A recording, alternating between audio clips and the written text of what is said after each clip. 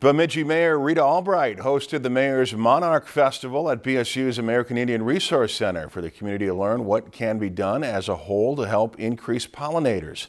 The Mayor's Monarch Pledge was signed in 2016 and guests heard the city's progress with pollinators in the area, including the three gardens planted in the community. Pollinators such as bees are critical for the foods we eat.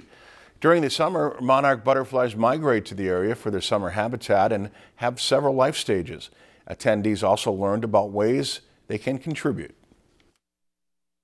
What I would encourage people to do is just take a piece of their yard uh, that maybe is difficult to mow, maybe it, you don't really use it for any other purposes, and um, let it let it grow into native plants. So that that's a really simple thing to do. Any little bit helps, and you'll be amazed at how little of a space can make a difference when it comes to pollinator habitat. Guests received milkweed and native seed plants to help improve conditions for pollinators. If you've enjoyed this segment of Lakeland News, please consider making a tax-deductible contribution to Lakeland Public Television.